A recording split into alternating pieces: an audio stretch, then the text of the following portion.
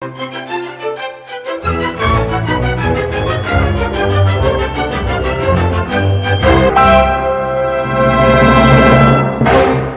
Il libro di questa settimana si intitola Inferno, è di Dan Brown che dopo il grande successo eh, con il codice da Vinci è destinato a battere altri record di vendita. Il profilo inconfondibile, come avete visto dalla copertina di Dante, che ci guarda dalla copertina, il motore mobile di un thriller che di infernale ha davvero molto. Il ritmo prima di tutto e poi il simbolismo acceso e infine la complessità dei personaggi che conducono un esito, a un esito raro per i romanzi d'azione instillare nel lettore il fascino del male, addirittura la sua salvifica necessità.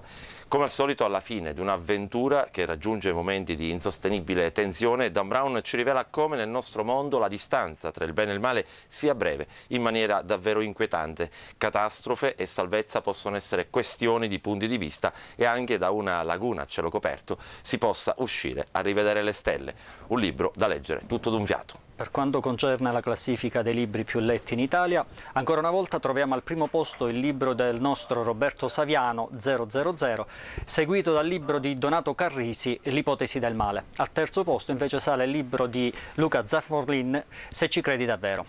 Invece per quanto riguarda le vendite al punto vendita della libreria Mille Dee di Agrigento, abbiamo al primo posto il nuovo libro di Dan Brown, Inverno seguito anche in questo caso dal libro di Roberto Saviano 000 e al terzo posto troviamo anche in questo caso il libro del, di Luca Zanforlin Se ci credi davvero.